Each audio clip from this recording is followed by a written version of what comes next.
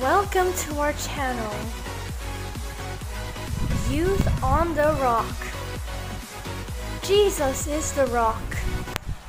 Like, share, and subscribe to our channel.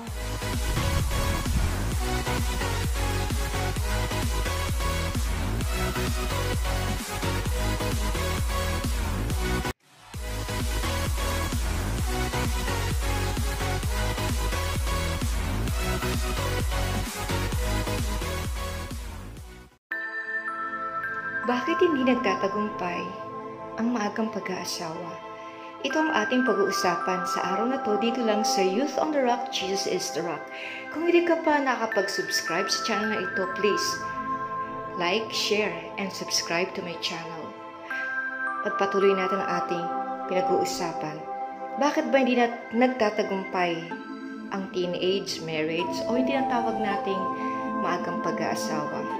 Unang-unang dahilan, kakulangan ng paghahanda. Walang paghahanda sa buhay na papasukin nila. Kung mapapansin mo dito sa ating bansang Pilipinas, normal na marinig mo na bukang bibig ng mga kabataan, kung mahal mo ako, pakasal na tayo.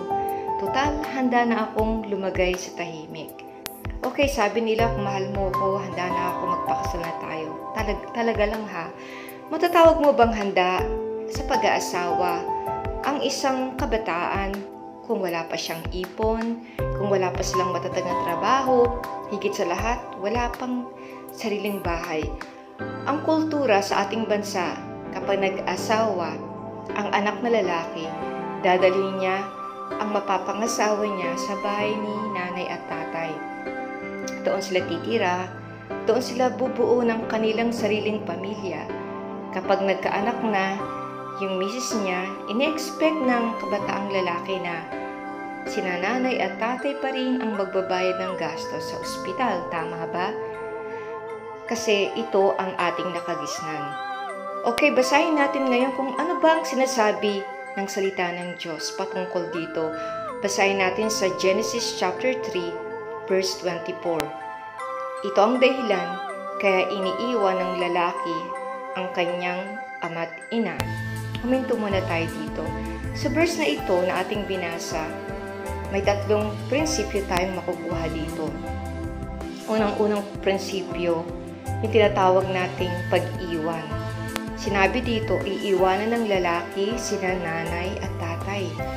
Hindi sinabing dadalhin ng lalaki ang mapapangasawa niya at ititira sa bahay nila nanay at tatay. Ito ang kadalasang dahilan kung bakit nabibigo ang maagang pag-aasawa o yung teenage marriage na tinatawag natin. Dahil ang kabataang lalaki, wala pa siyang kakayahang bumukod at iwan ang kanyang mga magulang.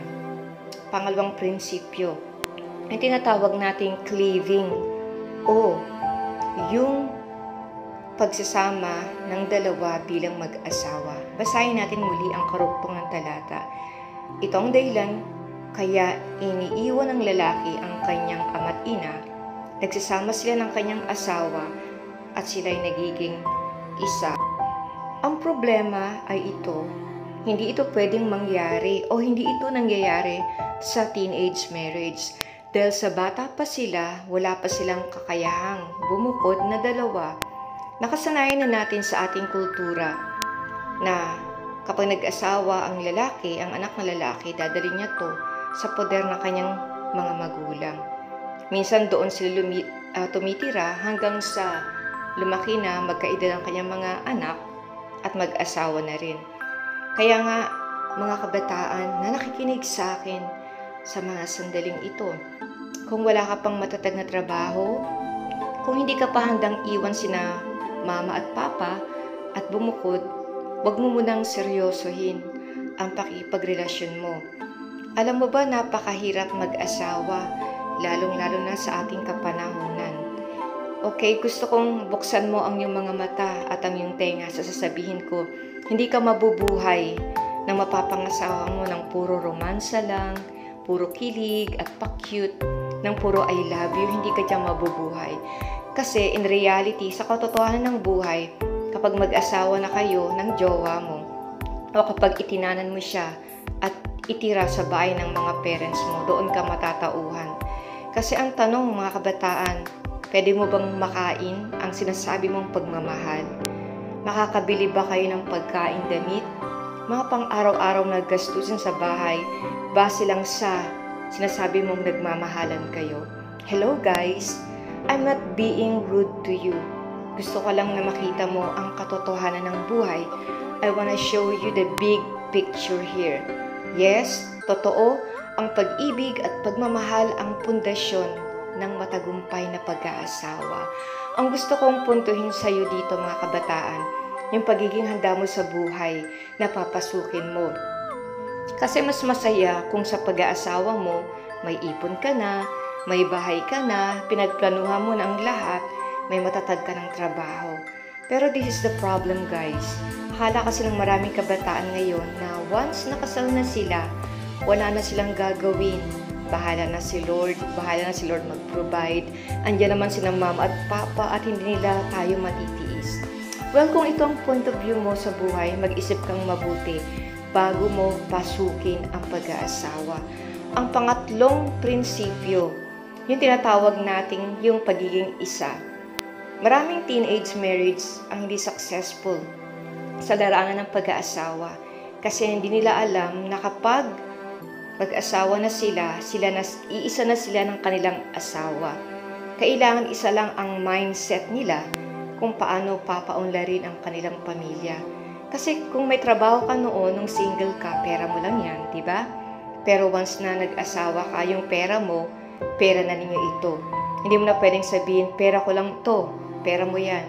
Magiging pera na natin ito, okay? At ang huling prinsipyo na sinasabi ng Genesis, sa verse 25, sabi rito, kapag sabi kapwa, hubad noon ang lalaki at ang babae, ngunit hindi sila nahihiya. Ibig sabihin ito yung ready ka na. Sexual readiness. Sexual na paghahanda. Kasi kapag nag-asawa ka na, magkakaroon kayo ng anak.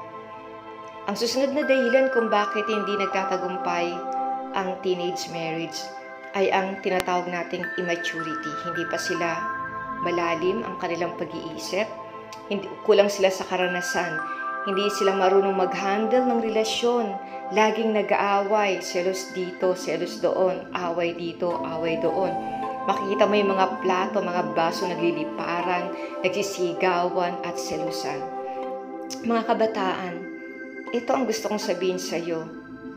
Huwag kang magmadali sa pag-aasawa. Take your time. Mag-aral kang mabuti magtapos ka ng pag-aaral mo.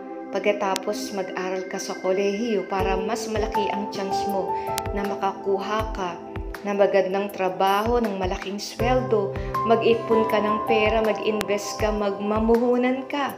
Pwede ka rin magsimulang maghulog ng, ng bahay through pag-ibig program para kapag handa na kayo magpakasal ng iyong kasintahan, hindi ka na mang problema. Higit sa lahat mga kabataan, Hingin mo sa Diyos ang kanyang patnubay. Lagi mo siyang isali sa iyong pagpaplano upang hindi ka magkamali sa iyong desisyon. Panginoon, pagpalain mo ang mga kabataan na nakinig sa akin ngayon dito sa Youth on the Rock, Jesus is the Rock.